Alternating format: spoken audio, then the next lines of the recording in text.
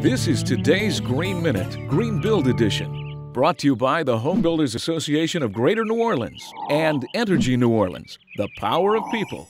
And I'm Jim Parks. So many homeowners regularly recycle these days, and that's something worth celebrating. And if those homeowners are looking for the next best area to help in the stewardship of Mother Earth, we've got it right here the envelope. A home's envelope is the barrier between outside and inside, made up of the home's walls, foundation, and roof. But the envelope is hardly solid.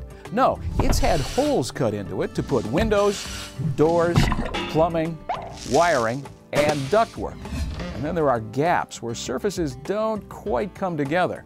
So even with insulation, there are lots of openings through which unwanted things can go in.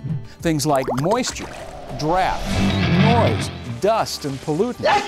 Gesundheit. But worst is what's coming out energy in the form of air that's been heated or cooled. Here you can see it. The brighter colors are where the leaks are. What can you do? Plug up the leaks.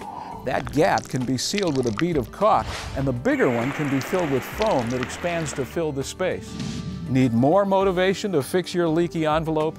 Your home can leak up to 40% of its internal air, meaning that out of every $10 you spend to heat or cool air, four of them are completely wasted, unless you seal the envelope. Visit us on Facebook for more stories of green innovation. We made this video, and we can make yours. MinuteNavigator.com.